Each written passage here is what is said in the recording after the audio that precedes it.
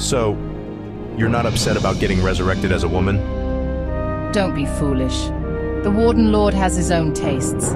It's not my place to question his desires. I see. Why are you staring at my chest plate? Well, I can't see anything since I'm blind. Perhaps. So anyway, about the Keepers and the Burning Legion. So the overgrowth of Lordaeron, the Treants in Ashenvale, my rival being resurrected as a sexy night elf woman, it was just to prepare some huge demonic invasion? Yes, in time you will find that... Wait, what did you just say? Nothing really. I get it. I can see my role in Warden Lord's grand design. I thought you are blind.